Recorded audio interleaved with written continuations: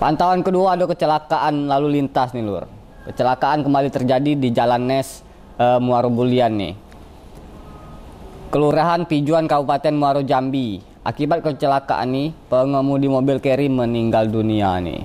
Memang kalau di Jalan Nes nih memang sering kecelakaan lur karena e, jalannya memang kecil lur. Pas-pasan untuk mobil mungkin e, yo pas-pasan untuk mobil kalau banjek pantau di sana. Tapi mangkonyo ini untuk pengendara supaya hati-hati dan waspada. Pelan-pelan baik. Apa sih yang nak dikejar? Yang mana informasinya? Kita pantau di pantauan Bang Jack.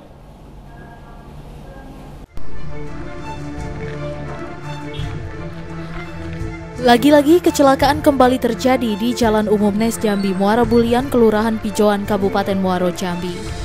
Kecelakaan ini melibatkan satu unit mobil merek Toyota Hiace dengan nomor polisi BH7055RU yang berjalan dari arah Muara Bulian menuju kota Jambi.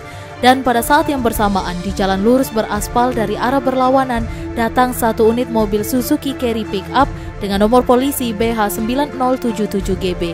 Kemudian Hiace tersebut langsung menabrak bagian depan mobil Suzuki Carry Pickup BH9077GB.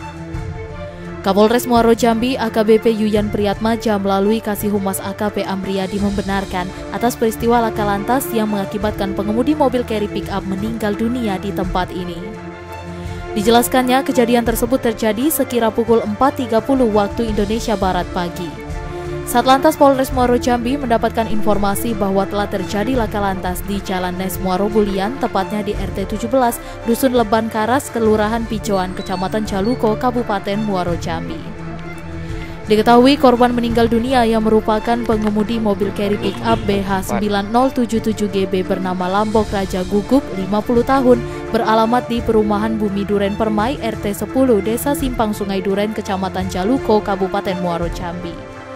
Sementara untuk penumpang mobil Suzuki Carry Pickup BH9077GB yang mengalami luka-luka bernama Rusmani Sitanggang, 46 tahun, bertempat tinggal di perumahan Bumi Duren Permai RT 10 Desa Simpang Sungai Duren, Kecamatan Jaluko, Kabupaten Muaro Jambi. Sedangkan pengemudi mobil Toyota Hiace BH7055RU kabur melarikan diri.